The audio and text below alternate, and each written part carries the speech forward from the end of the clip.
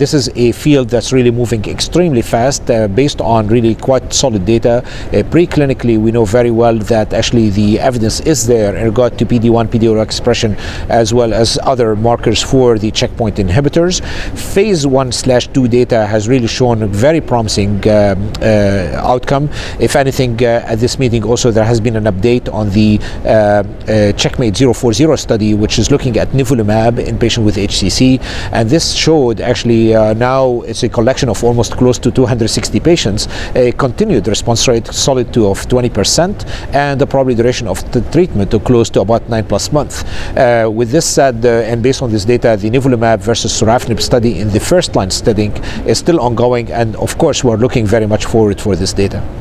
Along that same line, uh, the argument in regard to when to use checkpoint inhibitors in HCC is not really uh, clarified yet, and as such, uh, and based on certain data that showed probably before or after sorafenib, it uh, really probably carries the same outcome as it was shown in the Checkmate 040 study. For that purpose, pembrolizumab versus best supportive care in the second line setting is again a fully justified study that's ongoing, and again, we're waiting for the results. Those two between Checkmate 459, sorafenib versus nivolumab, and the pembrolizumab versus best supportive care were presented as trial in progress at that meeting as well.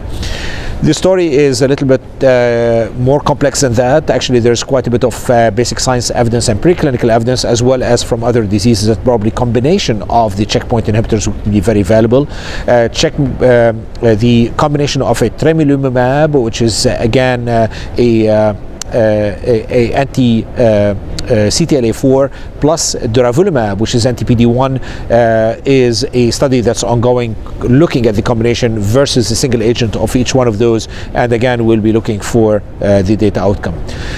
it will be unfair and I probably did not give full justice for all the studies going on in immune therapy with HCC but nonetheless I at least illustrated uh, the key uh, the key ones or some of the key ones that are critical including of course the current uh, phase 3 trials the two of them being the nivolumab versus sorafenib and the pembro versus best supportive care